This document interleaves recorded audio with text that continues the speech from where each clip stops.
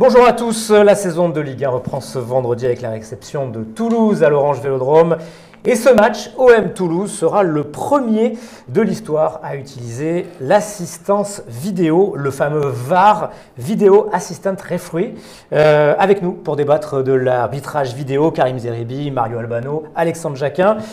Euh, exactement le même système que ce qu'on a vu euh, à la Coupe du Monde. On va en débattre avec nos, avec nos invités. Est-ce que vous pensez que c'est une bonne chose de, euh, d'avoir, d'arriver à, avoir cet arbitrage vidéo en Ligue 1 Ça va quoi? Ça va assainir le jeu? Qu'est-ce que ça peut apporter? Déjà, l'arbitre se sentira moins seul parce qu'il mmh. était la, seule personne, enfin les trois seules personnes au monde qui ne voyaient pas une, une main dans une surface, c'était eux trois. tous les, toutes les personnes devant leur télé, mmh. devant leur télé voyaient la main. Si eux ne l'avaient pas vu, ils passaient pour des charlots. Donc je moi, je suis entièrement. Quatre cas euh, dans laquelle, euh, pour lesquels on peut utiliser l'assistance vidéo. Quand un but est marqué, l'arbitre peut revenir en arrière pour vérifier s'il n'y a pas eu de faute, euh, de hors-jeu. il peut revenir donc au début de l'attaque. En cas de penalty, est-ce que la faute est bien à l'intérieur de la surface? Est-ce qu'il y a vraiment faute? Là encore, l'arbitre peut revenir au début de l'action. En cas d'attribution d'un carton rouge direct, l'arbitre peut revisionner la faute. Et puis, ça peut servir également pour confirmer l'identité d'un joueur fautif, notamment lors de l'attribution d'un carton jaune. On va écouter ce que pense pense Rudy Garcia euh, de cet arbitrage vidéo que l'OM va utiliser pour la première fois ce vendredi soir moi, je pense que ça va pas tout résoudre, évidemment, pas 100% des, décisions, euh, parce que parfois, même avec la vidéo, on ne sait pas euh, quelle, serait la bonne décision à prendre. C'est 50% dans un sens ou dans l'autre, mais ça va quand même régler une grande, grande partie des, soucis. Je pense qu'on va retrouver d'ailleurs Rudy Buquet vendredi. Euh, au sifflet. C'était, c'était l'arbitre du match contre Lyon qui a été décisif pour l'obtention de la, qualification Ligue des Champions la saison dernière. Et je pense que voilà, s'il y avait eu le VAR la saison dernière, euh, je pense qu'on serait en Ligue des Champions. Voilà, et Mitroglou serait allé au but. Et puis après, on aurait décidé s'il y avait hors-jeu ou pas. Et on n'aurait certainement pas perdu ce, match. Voyez, voyez jusqu'où ça peut aller, ce genre de, de, détails. Je pense que ce sera beaucoup plus juste cette saison, beaucoup plus juste, et il y aura beaucoup moins d'injustice, évidemment. Euh, Mario, il a, il a raison, euh, Rudy Garcia. Finalement, euh, bah, ça, ça rend les choses beaucoup plus justes. Oui, puis moi, je trouve. Bon, les, arguments contre, jusqu'à présent, c'était ça va créer un football à deux vitesses, de toute un arbitrage à deux vitesses. Mhm. De toute façon, il existe déjà, parce qu'un arbitre en Coupe d'Europe ou en Ligue 1, il n'arbitre pas dans les mêmes conditions que le pauvre euh, type qui, tout seul, va aller arbitrer un match euh, de DH ou de PH avec pour seule protection euh, une, main courante et qui, à la moindre faute, risque d'avoir un public qui lui tombe dessus. Donc, de toute façon, l'arbitrage à deux vitesses, il existait déjà. Ensuite, on disait ça va couper les matchs.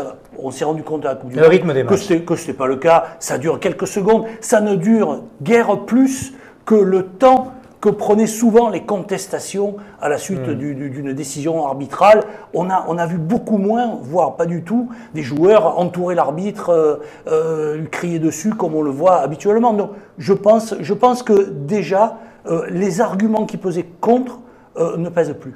Karim, qu'est-ce que vous en avez pensé de cet arbitrage vidéo à la Coupe du Monde, de cette première euh, utilisation Non, mais moi, utiliser sur ces quatre séquences de jeu, ça me convient assez. Pourquoi? Parce que ce sont des séquences de jeu décisives qui font basculer un match d'un côté ou de l'autre. Mmh. On ne peut plus se permettre aujourd'hui, avec l'enjeu qu'il y a autour du football et les, je dirais les, erreurs humaines, mmh. hein, euh, involontaires la plupart du temps, euh, j'ai envie de le croire, surtout quand ça concerne l'OM, parfois, en tant que supporter, on s'est parfois euh, interrogé sur est-ce qu'ils nous détestent à ce point pour ne pas siffler les pénalties qui sont pour nous ou pour nous en siffler alors qu'on pense qu'ils n'y étaient pas. Là, il y aura peut-être plus euh, euh, matière à discussion. Et en plus, parce que, en plus DOM Toulouse, il y a Clément Turpin à l'arbitrage vidéo. Donc, Exactement. en revanche, le sujet sur lequel je m'interroge, c'est l'utilisation de la VAR dont je trouve qu'à la Coupe du Monde, elle s'est faite un peu à géométrie variable. Alors, il y, Parfois, a, vu beaucoup il y avait des actions qui étaient litigieuses, où l'équipe a demandé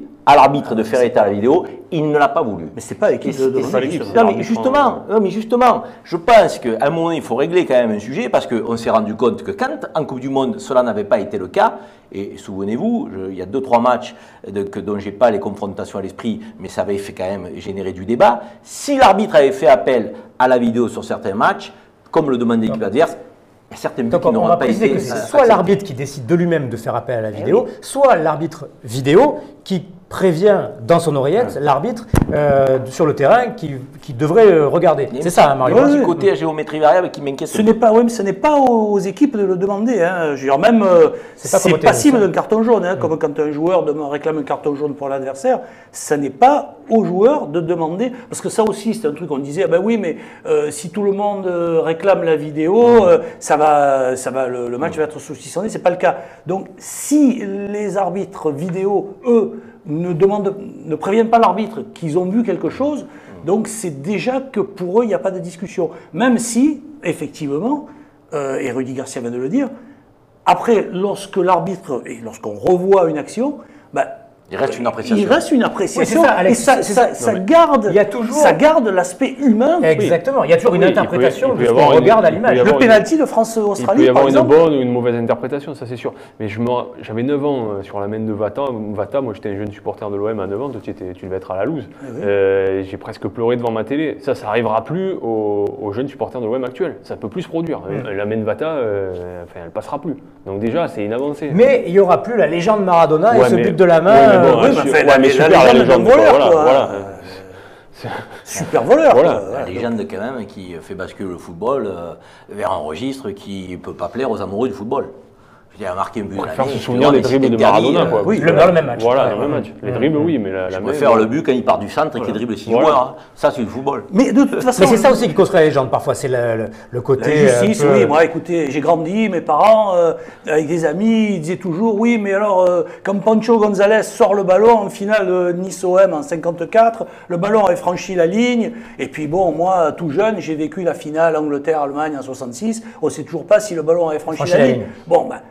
Évidemment, euh, quand on est loin, euh, ça fait rire, mais ceux qui ont perdu, euh, ça les fait moins rire. Non, mais avec les années, on s'habituera au tennis, on s'est habitué avec, Tout la- à fait, avec bien ce sûr. vidéo et c'est Ouais, c'est bien rentré sûr. C'est le totalement. sens- c'est le public, sens de le public l'histoire. adore regarder l'écran pour voir si la, la, La la balle balle a bien. Mais la- écoutez, souvenons-nous quand même, enfin, bon, vous ne l'avez pas vécu, mais euh, il y a quand même eu une époque où on ne remplaçait pas les joueurs blessés. La France a perdu une demi-finale de Coupe du Monde en 58 contre le Brésil. C'était l'immense Brésil, certes, mais ils ont joué à 10. Euh, donc, euh, et puis il y a eu des matchs euh, où parfois euh, ben, l'élimination du meilleur joueur adverse sur blessure, c'est évidemment ça servait puisqu'on jouait 11 contre 10. Puis, bon, on a admis le 12e homme, puis le 13e, puis le 14e. Maintenant, il peut même y avoir un quatrième remplacement en prolongation. C'est l'évolution normale du football. C'est le sens de l'histoire. Je pense qu'on ne peut pas aller contre le progrès technologique, surtout quand euh, il doit servir ce que moi j'appelle la justice du football. Donc, euh, hein, en l'occurrence, c'est pas pénalisant. Logiquement, ça doit rétablir des injustices, donc, euh, le système vidéo. Et puis, je vais vous dire, euh, je ne crois pas à ceux qui disent que ça saucissonne ou ça hache le jeu. Vu les quatre séquences de jeu qu'on a évoquées, je ne vois pas en quoi ça hache le jeu. hein. On verra tout ça, on est impatient également de voir. lors Moins de que les contestations. Lors de Ouais, cette euh. OM Toulouse euh, de ce vendredi soir, de voir comment va se passer cette première utilisation de l'arbitrage vidéo en Ligue 1. Merci messieurs d'avoir participé à ce débat dans le JT de l'OM sur laprovence.com. Terminé, C'est vrai, c'est terminé, terminé.